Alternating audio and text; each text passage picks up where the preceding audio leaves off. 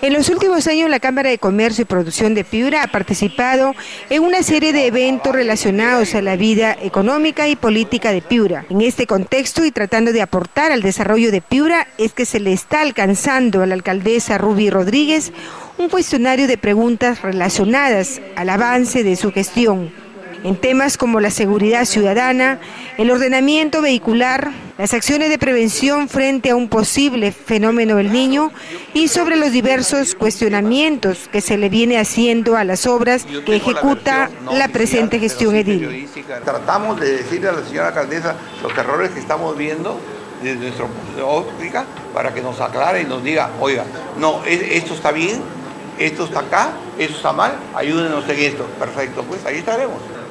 El presidente del directorio de la Cámara de Comercio, doctor Edmundo Rodríguez, señaló que este cuestionario no va dirigido a alguien en particular, es a toda la gestión provincial municipal. la finalidad que tiene este cuestionario, que no es una cuestión que hay que ser muy técnicos, es una cuestión que la vivimos todos, día a día, cuando transitamos por la ciudad.